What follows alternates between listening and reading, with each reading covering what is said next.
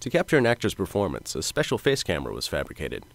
By locking the camera's orientation to the actors, the video will always have the face in view, eliminating issues with marker occlusion. To ensure the entire face is in the camera's field of view, a target made of index cards stands in for an average human face. Focus distance is measured and will later be used to calculate the length of the camera's boom. The main structure is made from a pair of Real D movie glasses. The polarized lenses have been removed. The lower frames are also removed for less obstruction and a lighter rig.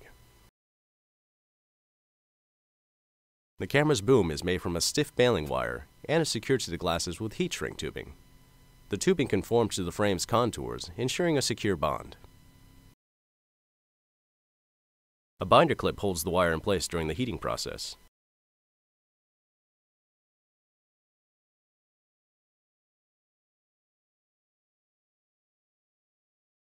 A small notch is cut in the frames for the wire to rest in.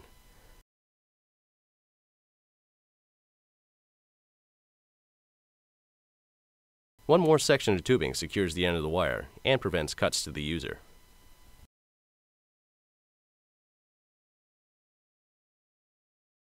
A stripped down camera is wired to the end of the boom.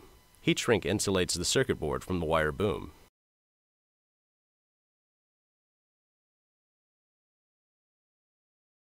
Here's the completed rig. The excess USB cable is used to secure the rig to the user's head. By pulling on the loose end of the cable, it tightens it. To use the face cam, simply put on the rig and tighten the cable till comfortable and snug. Now connect the camera to the computer. A USB extension cable is recommended if the camera's cable is too short for the expected performance scenario.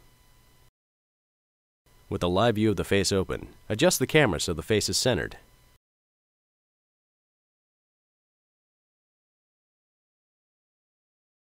After the user has captured a performance, the video is converted into a series of still images.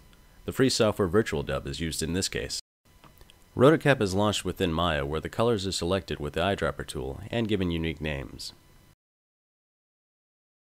Rotocap then tracks each area of color and applies the detected motion to a sphere.